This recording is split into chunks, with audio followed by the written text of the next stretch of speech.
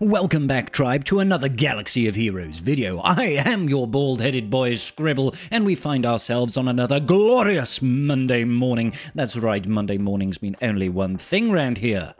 We're about to be galactically challenged. We find ourselves on the forest planet of Kashyyyk facing off against the droids. I wonder if they're going to attack the Wookiees. Quite likely, quite likely. Our global modifier for this is just retaliation. Whenever a unit takes damage, they are going to gain stacking critical damage until they score a critical hit. Whenever a unit is debuffed, they will recover 10% protection, and whenever another unit is defeated, a random ally takes a bonus turn. Our modifiers are for Tuskens, and the Tusken modifier is phenomenal, but unfortunately, alas, my Tuskens are simply not up to scratch on this one, so I'm going to have to settle for Gold Box, but don't worry, I've got footage for you to show Red Box as well. The enemy has got Protocol Exterminate, meaning they've got an additional 30% offense, and whenever they score a critical hit during their turn, they're going to target lock you for two turns, and whenever a droid an- enemy targets hits us with target lock, they're going to recover protection. Basically, they just always recover protection. It's annoying, is what it is feats then. We need to win with Tuskens, yay. We also need to win with one light side and one dark side, and we need to win after removing 400% turn meter from the enemy. This is a little bit frustrating because Sortie and her VIP unit is going to be immune to TMR until we get rid of spare parts, I think it is. But we can still figure all this out. Now, if your Tuskens are like mine, you might have a couple of relics and the rest are just kind of garbage, then you're going to do what I do, which is just go in at tier 6 to get the Tusken feats, and that will get you gold box, and then just do the rest of the feats at the upper tiers, and that will be it. So that's what we'll do. First and foremost, I'm going to show you footage of how to win with Tuskens at the top tier, the most difficult tier, not using my Tuskens, and then we're going to do tier 6 with mine, and I'll get you the rest of the feats. Let's roll this.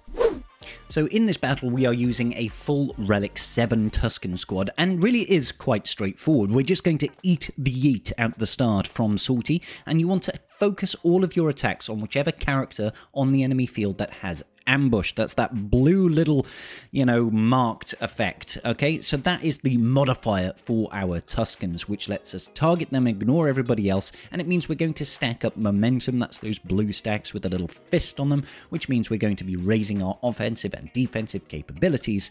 And that's kind of it. That's all the nuance there is to it, really, guys. You just gotta keep hitting the person that is marked. Now, you can try and do a big hit over there on Sortie, but I find she is just so ridiculously tanky and recovers so much. Just leave her till the end, and honestly, you put it on auto after that point.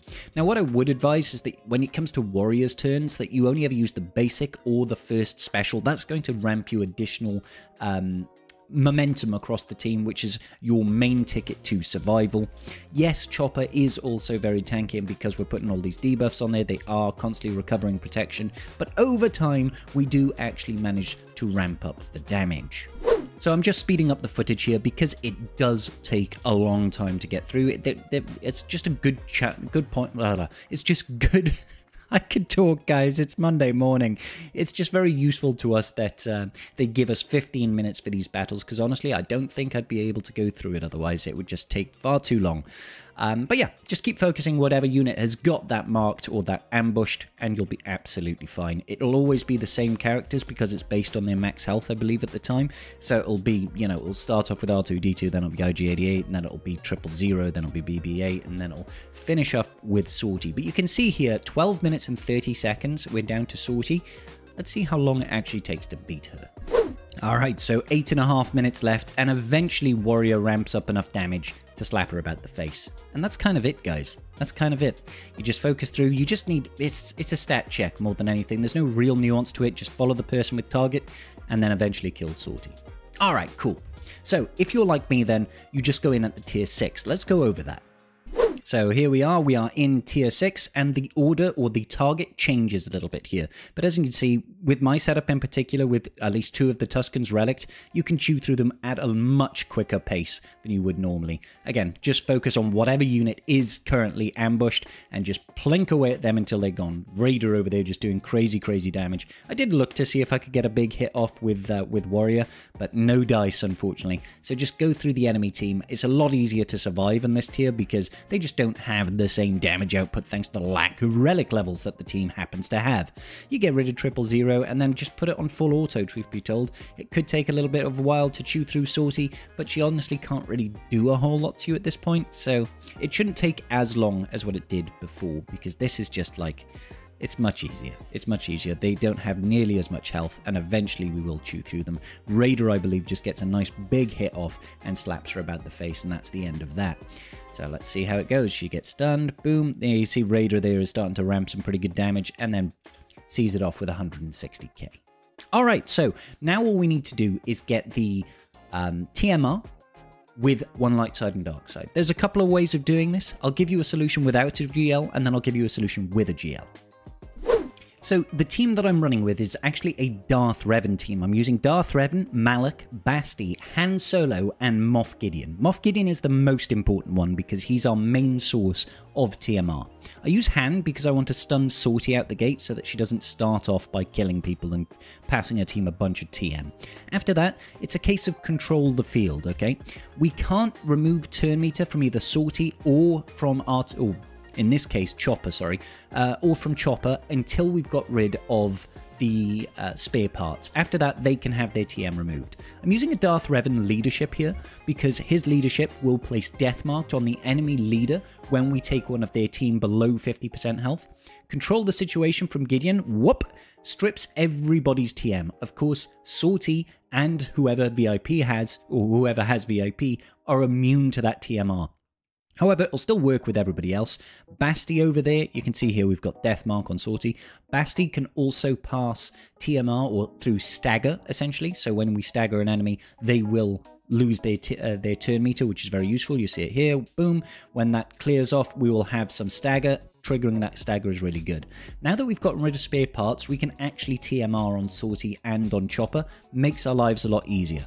But all you really want to do is mostly just try and drag this battle out, keep the enemy controlled, and then use control the situation with Gideon to mass strip TM. Just make sure you get it done like three or four times alongside the TMR that you're getting from the staggers from Bastila Shan and also on Han Solo's basic. When Han Solo basics a character that's got over 50% turn meter, he has a chance to remove turn meter. So these are all the little ways that we can just slowly over time just get rid of their meter. You see there, I got rid of 50% turn meter from Sortie. It's the most useful way of getting it done. Gideon here is absolutely invaluable.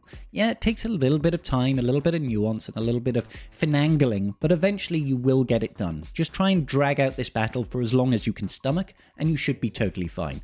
And of course, as long as you don't lose Han Solo, you should not lose any of light side units, which is obviously kind of goes without saying, right? But that's the other part of the feat. We need to win with one light side and one dark side. Now, if you happen to have JML, I've got a better team for you with JML, and we'll get to that in just one moment. When it comes to kill priority, I'd recommend trying to get rid of Sortie through that death mark, and then try to get rid of IG-88. The reason I'm saying IG-88 is because Sortie and IG-88 are the only characters on this team that have got any sort of AoE, so they're the only ones that pose a real threat to your Han Solo. And you don't want to lose him because obviously you won't get the light side dark side feat then. I'm just spreading the damage here, trying to get some TMR out of Han Solo, but generally, if you've dragged it on this long, you should be pretty good. You see Gideon is another four turns away from control the situation. We'll probably get round to that one more time. So we're just finishing up here at around about the 10 minute mark and we should see all of the remaining feats pop for us now. Light side, dark side, win the battle and 400% TMR. This was obviously done at tier 10. You can see it here. We go through and boom, there's tier 10, tier 10 and the 400% turn meter. So if you have a, a, GL, and in particular JML, let's use this team. So the team is a Bastila lead with JML, Wat Tambor, Traya, and then use Moff Gideon again. The idea here is that Bastila's lead with JML gives JML a boatload of bonus protection, and then if you put that tank tech on him, he's going to be recovering even more. Now, JML's Efflux removes TM from the enemy team, which is great. Basti is just there for the leadership more than anything. Wat Tambor will force the taunt with the, with the tank tech, and then you've got Gideon to mass strip that TM away with his control the situation. I'm using Traya here because isolating on Sortie stops her from gaining all that bonus protection, and we can decrease the cooldowns on Gideon to get round to more control the situations. I find this one to be a very easy way of getting it done.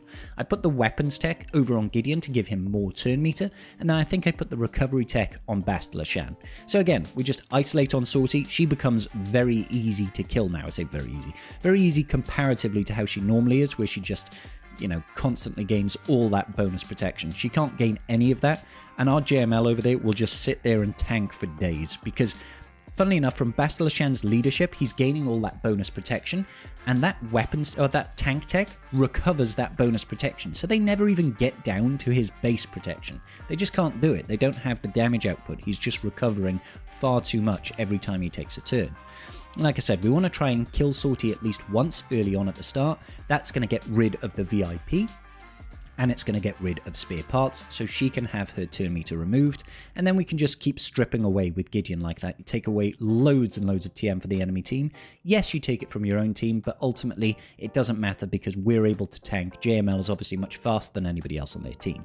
So there we go, we've got rid of Sortie once, there's no more VIP on the field and we can just focus her down once again. Again, I'm focus I'm choosing to focus her down because she's got a nasty big AoE. You want to try and get that isolate off on her as soon as possible and you just have fun with it, guys. This one was very easy for me. So as you can see, it does take a little bit of time. We're coming in at just past 8 minutes now, or 9 minutes uh, left on the clock, and it's fine. You can see we still haven't even touched JML's base protection. Everybody else is super, super healthy. Really easy way of getting it done if you've got the GL. And that, ladies and gentlemen, is going to about do it for our Galactic Challenge for the day. I hope you did manage to get your red box. Make sure you sign off in the comment section down below. Tell me what team you used so I can expand my Galactic Challenge knowledge and spread it to the masses. Make sure you like and subscribe if you haven't already. And a huge, huge shout out to my wonderful patrons who are just amazeballs. Thank you guys so much for your support. Really do appreciate you. Now, later on today, before we disappear, guys, I am going to be putting out a how-to guide on Conquest. We, it is starting back up again now, the second one for Queen Amidala, and this is going to be a video guide just detailing every little thing that you need to know about how to get Conquest done. If you haven't already, make sure you check out my playlist for this version of Conquest so you can get your red box. Peace out, and may the Force be with you.